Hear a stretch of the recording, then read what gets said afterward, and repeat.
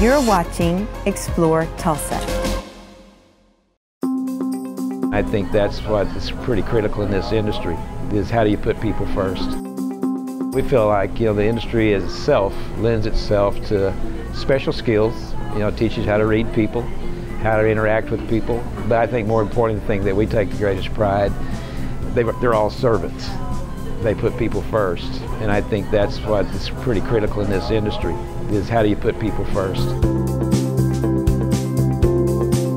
When I came back from the service, I started with Pizza Hut in Moore, Oklahoma.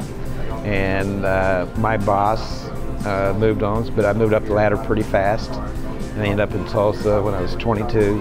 I had 10 Pizza Huts at that age and then just worked and developed those stores. And then oh, it was 1977, 78, we started a place called La Cafe. Uh, my roommates, my existing partner contacted me, wanted to know if we want to get back in the restaurant business. So we became partners with him and his family and bought La Cafe, excuse me, bought Cafe Ole.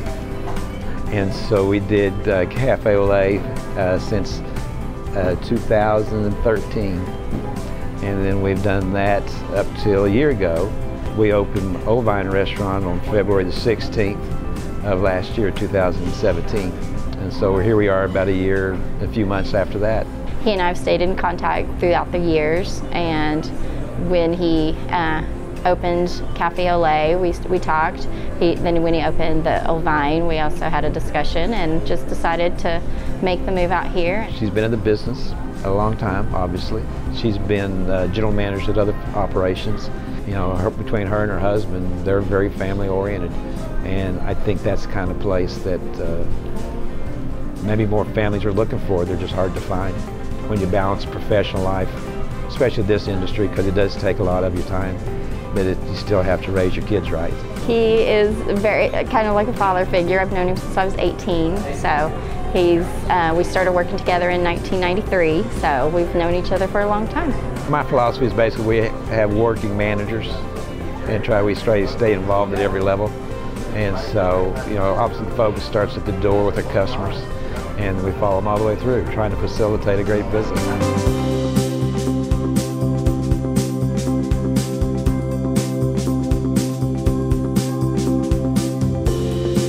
A lot of Brookside community, so uh, Midtown, and just a lot of regulars come in every week, Sunday after church, and just, you know, we we have a great patio seating, so we have a lot of, as, as it's getting nicer out, we have a lot of patio diners. We realized really quick, even those with formal training are not necessarily great cooks.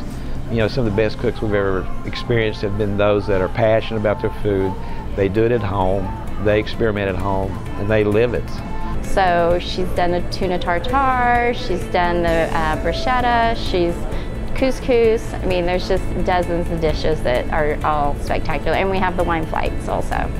I'd have to say our pizza that we sell here at Ol'Vine is some of the best in town. It's it's thin, it's you know it's the old style, but it's really fresh. It's very good crust. Zach, our bartender, uh, he does a lot of the mixology and brings in other drinks and just creates. We've got a, a pear infused bourbon right now that's really good. So it's very smooth. I'm not a bourbon drinker, but it's very smooth.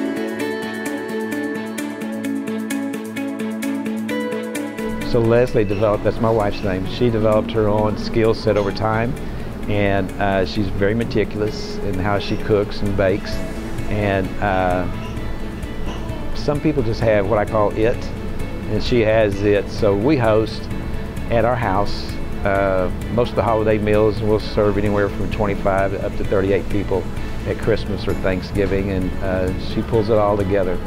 Well, I think, you know, food is magic for families. I think magic happens over food. As kids grow up, you know, it's kind of hard to get them to open up, but over food, over a period of time, they kind of let their guard down and, and, you can discuss whether it's politics, religion, or whatever's going on in their life. But we feel the food table is pretty important. We've got to be the point where we have a big dining room. Our dining room's over 500 something square foot. It's a feast. We celebrate food. We celebrate family.